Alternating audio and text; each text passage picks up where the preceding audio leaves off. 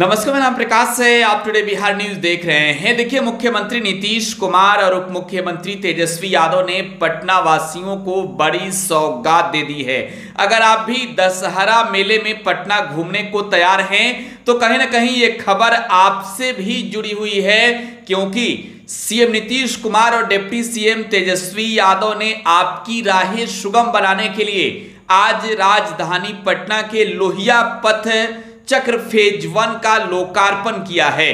बड़ी खबर इस वक्त की आपको दे रहे हैं। कहीं ना कहीं बड़ी सौगात है दशहरा से पहले पटना वासियों के लिए ये लोहिया पथ चक्र फ़ेज़ वन का लोकार्पण। नीतीश कुमार ने किया है, तेजस्वी यादव ने किया है। तस्वीरें देखिए, आपको दिखा रहे हैं।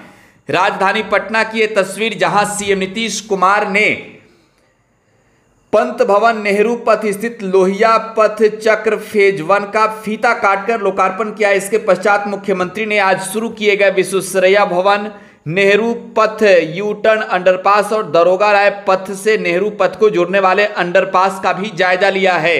बिहार राज्य निर, पुल निर्माण निगम लिमिटेड के अध्यक्ष अभय कुमार सिंह ने मुख्यमंत्री नीतीश कुमार को पौधा भेंट कर उनका अभिनंदन किया है स्वागत किया है। तस्वीरें आपको दिखा रहे हैं। इस दौरान मुख्यमंत्री ने लोहिया पथचक्र के शेष निर्माणाधीन कार्यों का भी निरीक्षण किया है। निरीक्षण क्रम में अधिकारियों को सीएम नीतीश कुमार ने निर्देश देते हुए कहा है कि काम बेहतर ढंग से हो, इसका विशेष रूप से ध्यान रखते हुए काम में तेज़ी लाएँ ताकि लोगों को आवागमन में और अधिक सहूलियत मिल सके। ये तस्वीरें आपको दिखा रहे हैं। सीएम नीतीश कुमार ने कहा कि जब लोहिया पथ चक्र पूर्ण रूप से बनकर तैयार हो जाएगा तो वाहनों का परिचालन और भी अधिक सुगम होगा। बोरिंग कैनाल रोड की तरफ़ भी लोग आसानी से आवागमन कर सकेंगे।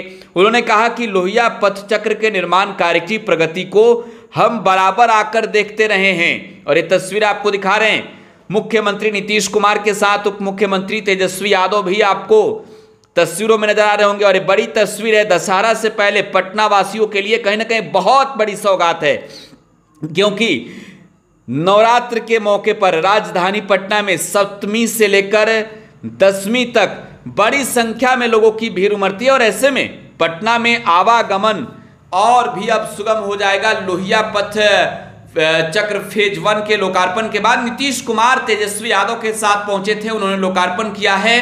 तो कहीं ना कहीं एक बड़ी सौगात आज नीतीश कुमार ने पटना वासियों को दे दी है। नीतीश कुमार ने इस दौरान ये भी कहा है कि जल्द अच्छे से बेहतर तरीके से लोहिया पथ चक्र का निर्माण कार्य हो, वो समय समय पर आकर निरीक्षण करते रहेंगे, वो देखते रहें और आगे भी देखते रहेंगे। फ़िलहाल आप टुडे बिहार न्यूज़ के साथ बने रहें। धन्यवाद।